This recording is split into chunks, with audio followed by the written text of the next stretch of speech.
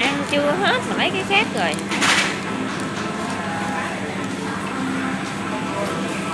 Ốc. Ốc. Vừa mới bỏ này vậy hai bóc kia rồi.